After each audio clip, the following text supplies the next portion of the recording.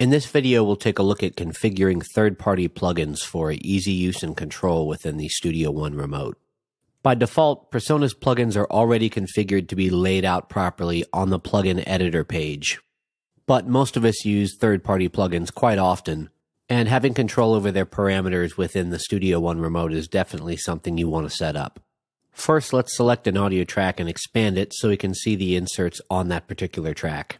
In this case, I have a drum track open.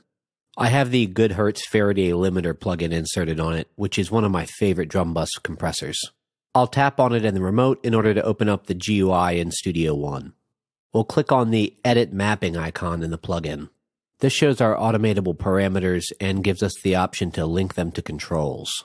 This is what we have to do in order to have them show up within the Studio One remote. Clicking on the down arrow in the control box gives us several options from which we'll click the UCNet remote. You'll now see eight knobs and eight buttons underneath them, each which corresponds to a knob and a button in the Studio One remote. Let's say I want to have control over the threshold slider in the Faraday limiter on the top Studio One remote slider we simply have to adjust it with our mouse in order to have the hand icon change to the threshold dialog. Then we simply drag and drop that over the first knob on the UCNet remote.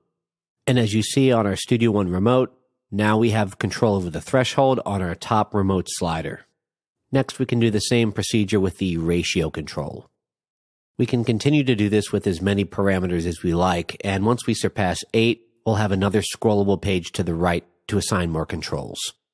If we want to assign button parameters that click on and off, we can do the same process and drag that hand icon to one of the available buttons on the UCNet remote. You only have to do this once per plugin as it's remembered the next time you open another project and insert the same plugin.